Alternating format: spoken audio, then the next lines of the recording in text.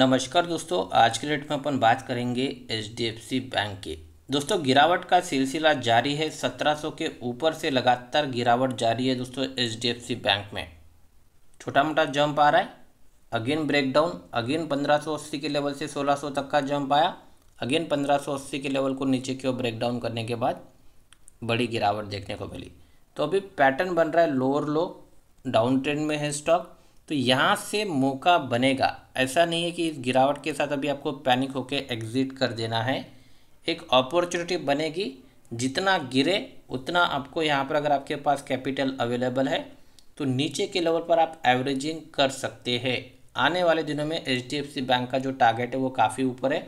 अगर आपने दोस्तों ऊपर के लेवल पर भी खरीदारी की हुई है, मान लो 1600 के ऊपर की है या फिर 1700 के आसपास तो अगर आप होल्ड करने के लिए तैयार है आने वाले तीन महीने तक एटलीस्ट तीन महीने छः महीने तक तो फिर आपका जो ये लॉस है, वो प्रॉफिट में बदलती हुई नज़र आएगा। इस गिरावट के साथ पैनिक नहीं बना है हालाँकि यहाँ पर एक मौका है एचडीएफसी बैंक को खरीदने का।